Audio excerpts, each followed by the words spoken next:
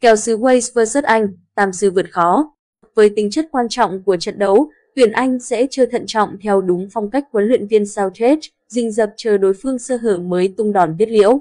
Sau khởi đầu tưng bừng vùi dập Iran sau 2 ngày ra quân, các cầu thủ tuyển Anh nhanh chóng bị kéo trở lại mặt đất ở trận hòa vất vả 0-0 trước Mỹ. Đương đầu đối thủ có tính tổ chức tốt, pressing rát khắp mặt sân, Harry Kane và đồng đội hoàn toàn bế tắc. Dẫu vậy, Tam Sư vẫn có chút điểm sáng dưới hàng thủ. Harry Maguire thi đấu ngày càng chắc chắn và tự tin, tạo nên tấm khiên thép trước khung thành Jordan Pickford. Để kết thúc bảng B ở vị trí dẫn đầu, tuyển Anh cần đánh bại người anh em xứ Wales trong trận cầu sinh tử. Tuy nhiên, Southgate sẽ không mạo hiểm bung sức từ đầu. Với tính cách bảo thủ, đề cao sự an toàn của vị thuyền trưởng, Tam Sư sẽ nhập cuộc từ tốn, chờ đối thủ nôn nóng dâng cao rồi tung ra đòn phản công. Về phần xứ Wales, họ vừa trải qua 90 phút tệ hại trước Iran. Hy vọng đi tiếp của thầy trò Jobet trở nên mong manh vì mới có một điểm và không nắm trong tay quyền tự quyết.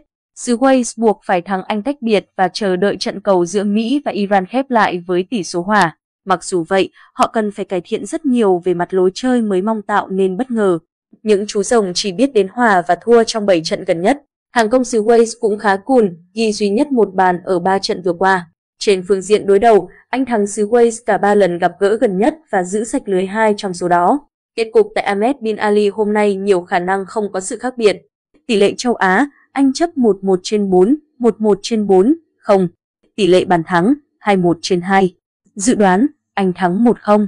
Thông tin bên lề, tuyển Anh thắng cả 6 cuộc đối đầu gần nhất với xứ Wales ghi 11 bàn và chỉ thủng lưới một lần.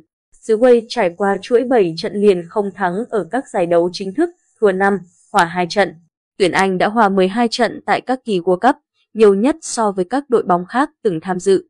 Đội hình dự kiến Sway, Watt, Mefam, Rodon, Xavi, Roberts, Rumsey, Ampadu, William, Diem, Morer, Bill, Anh Pickford, Rucker, Stones, Maguire, Shaw, Rice, Bellingham, Sterling, Mount, Foden, Kane.